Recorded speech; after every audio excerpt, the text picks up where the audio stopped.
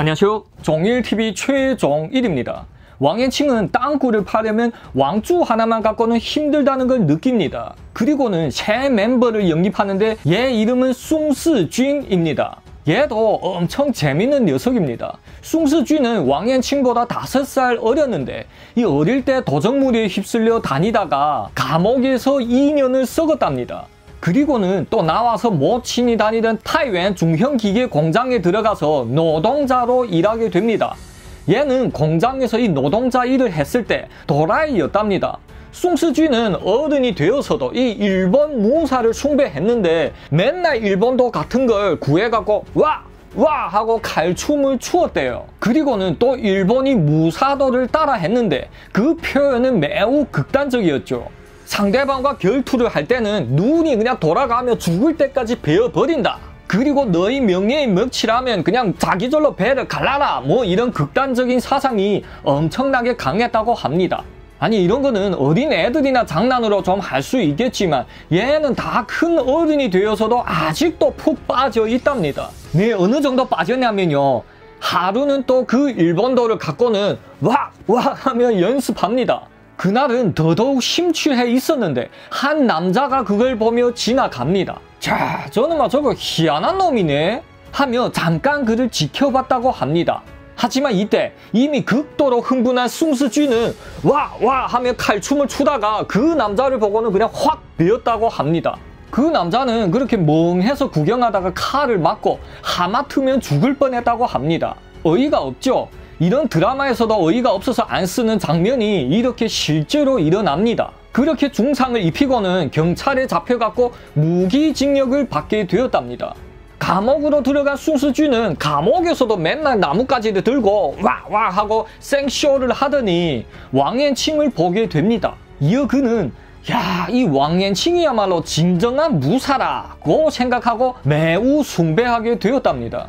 이런 놈들은 한 사람을 숭배하기 시작하면 또 거기에 그냥 환장합니다. 그러니 그 충성을 높게 사서 합류시킨 거였죠.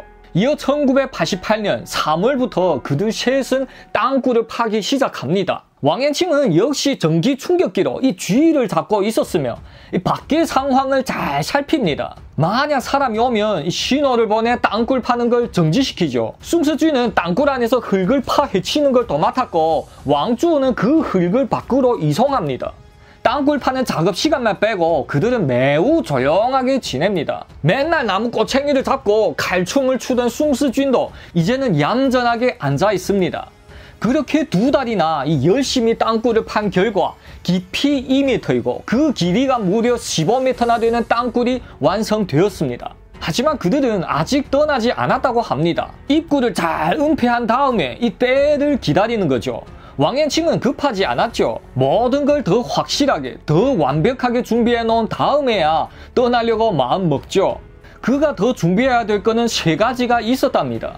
첫째, 조직원을 더 늘려야만 했습니다. 어차피 밖에 도망쳐 나가면 한 배를 탔으니 자기 말을 고분고분하게 들을 게 아닙니까? 이어 그는 수하의 부하들 중에서 아홉 명을 더 선발해서 함께 들러 나가려고 마음 먹습니다. 다들 돌이킬 수 없는 중범죄자들이었고 그 주먹도 쓸만했죠.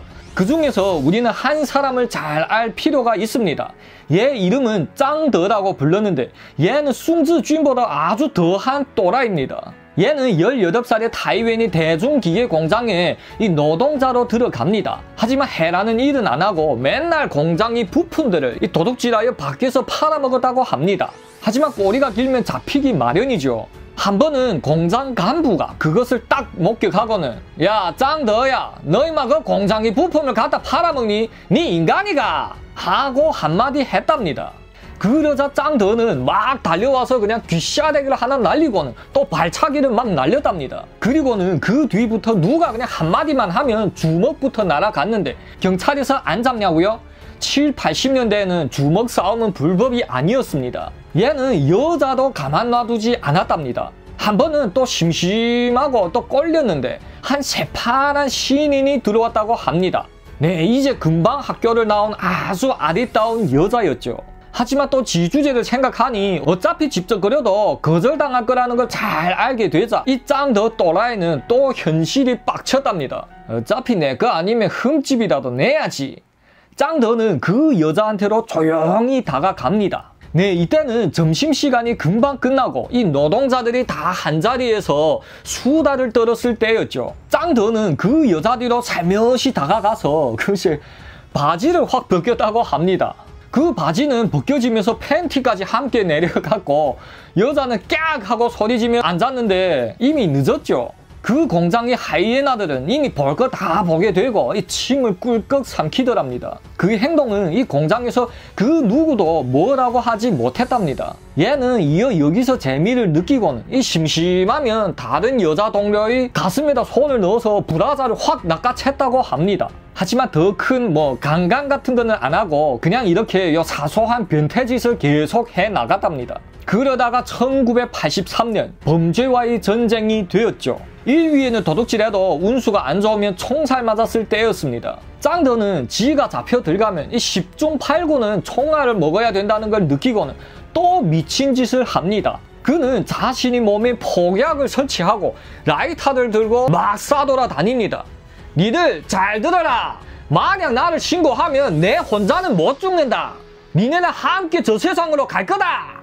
라고 외치며 다녔답니다. 이건 뭐 상또라이 중에 상상또라이였죠. 그뿐만이 아니랍니다. 이틀 동안 그렇게 쭉 다니며 겁을 주고는 또 짐을 챙기고 산으로 갔다고 합니다. 그는 산에서 피신 하여 2개월 동안 자연인으로 살아갔는데 그 뒤에는 더 이상은 버티기 힘들었답니다.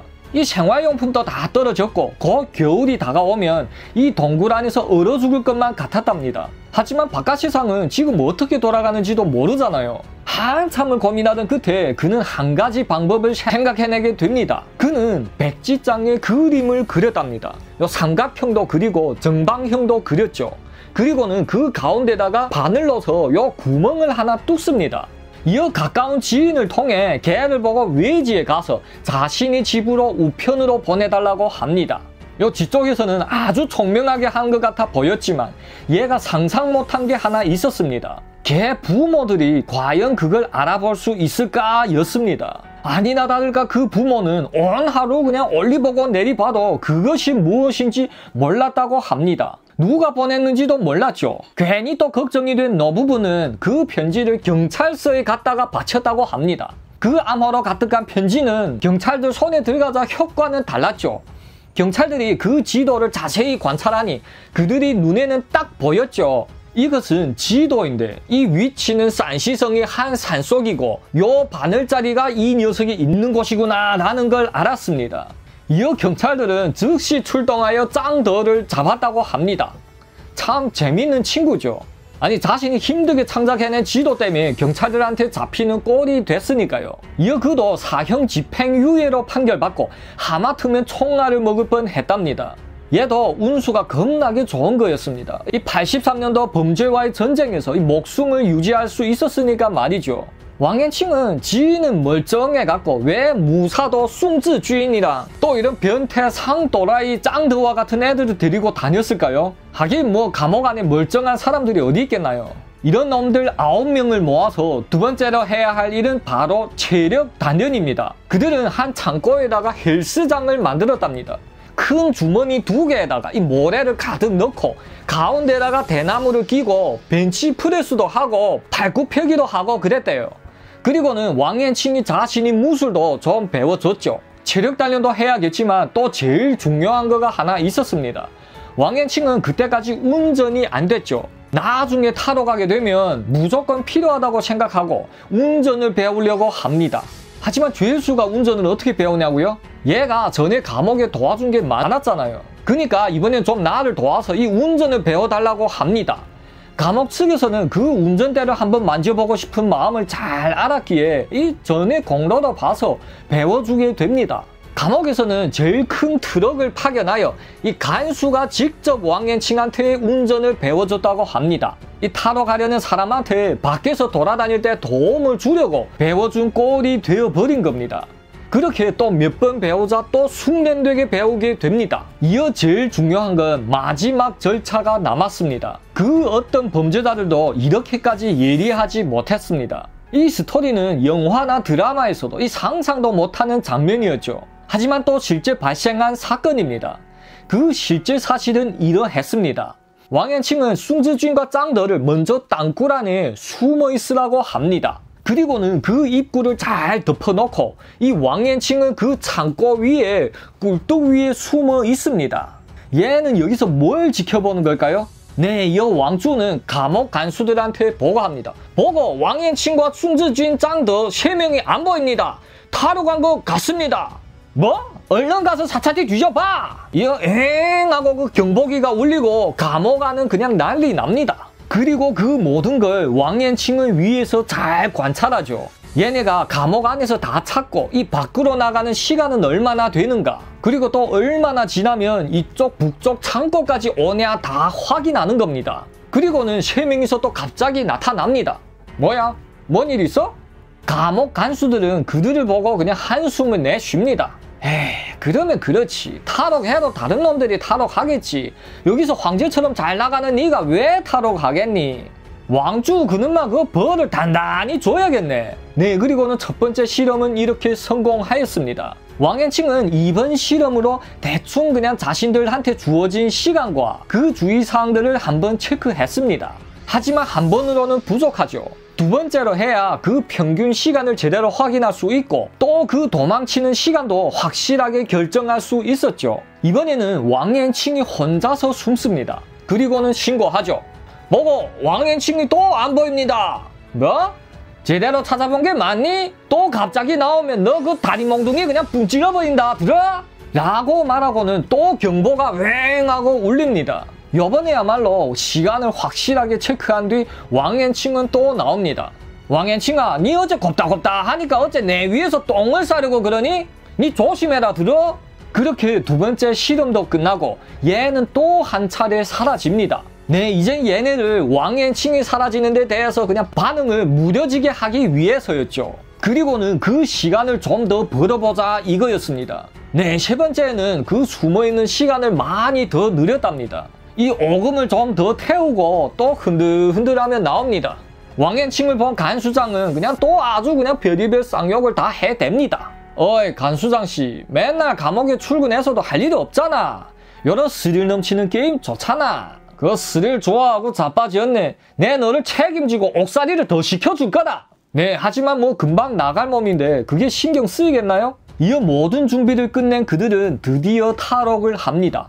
네, 그 탈옥은 5회에서 계속 하겠습니다. 자, 이제